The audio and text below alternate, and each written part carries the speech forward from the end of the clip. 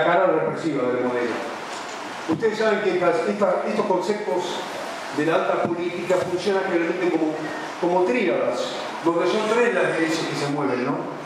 Yo recuerdo palpablemente cuando le preguntaba a un antiguo compañero de militancia, que hoy tiene puestos, altos puestos funcionariales en el Estado argentino, le decía, bueno, podemos conceptualizar cuál es el trípode de ideas que maneja el gobierno como proyecto.